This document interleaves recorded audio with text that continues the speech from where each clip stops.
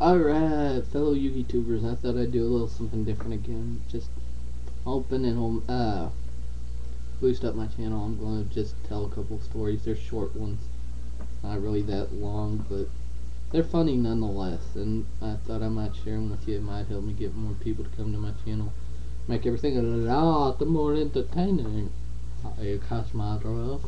Oh, alright, okay, stop with the stupid faces. Uh, First one is going to be the story of Lucky Piper. I'm sure you're all aware of that cursed cards story that it supposedly has.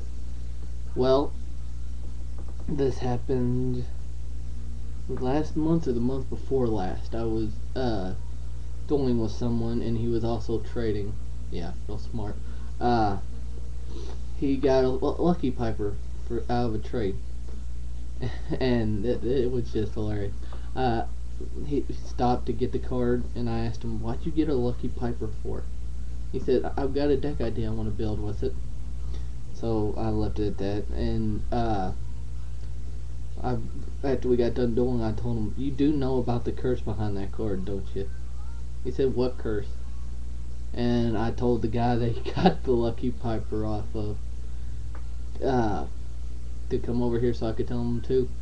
And uh, I told him the story from what I heard from Wild Harpy and a few other people, and one I know for sure that got one and then traded off.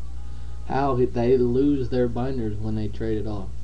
So it was funny. The one guy wanted to trade back. The other one said, "No, no, no, no. I don't want that damn cursed card."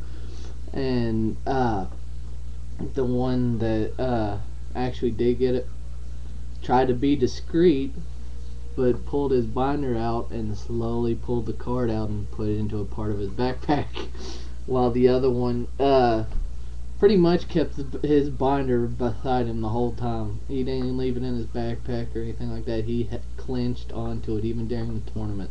He really that, that stupid little story about the cursed card which oddly enough as many times as I've seen it I should believe it is actually cursed but it was still funny to see how they reacted after I told them that.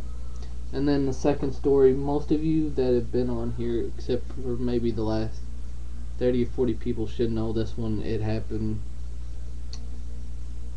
two or three months ago. Uh, I was needing to get new deck protectors, and because the ones I have are the ones with the picture, so the back gets real shitty after a while. Pardon me for my language and the way I'm looking. I just woke up. Uh, but anyways, uh, I went up to the card shop, uh, Hometown Hobbies in Huntington, West Virginia on uh, 4th Street, yeah. Uh, and bought, was going to buy some deck protectors. I didn't need any for Magic because I only have one Magic deck. But I was looking to buy some Yu-Gi-Oh! and the only kind he had were pink. Some may say it was lavender, but it was a pink. A little bit of a dark pink, but a pink nonetheless. And we were heading home. I was in the back seat of my friend's car that was gave us a ride, and uh, I pulled him out so I could put him over my new deck. And he was like, "Dude, why'd you get pink deck protectors?" And I'm like, "Uh, because they were." I, I was about to say because we were out of it, but the friend next to me said because he he's for breast cancer awareness. And then my friend that was sit, sitting in the passenger seat says, "Oh, so a titty saved is a titty tut," and then he goes over and grabs his girlfriend's breast where, while she was driving the car, and then she goes around and punches him in the arm. Oh god, we all were laughing about that whole incident, but that's the only stories I can think of right now. If I can think of any other stories that happens that happens at my locals that are funny, or just want to share some other stories with you that I've got. It doesn't necessarily have to be Yu-Gi-Oh related. Uh, let me know. Uh, well, if you want something that's non-Yu-Gi-Oh related, let me know. If you want something Yu-Gi-Oh related and you like these, I'll uh, post some more up when I've got some. But uh, this was just a little something I thought would be a little bit more entertaining for my channel. I doubt it'll give me any subs, but it should make people pay attention. Should help people pay attention more to my channel. And that's really all I want to do is get my channel more noticed. But uh, this is Hero Duo the Comedian signing out. Have a great day, and I'll see you at the next video.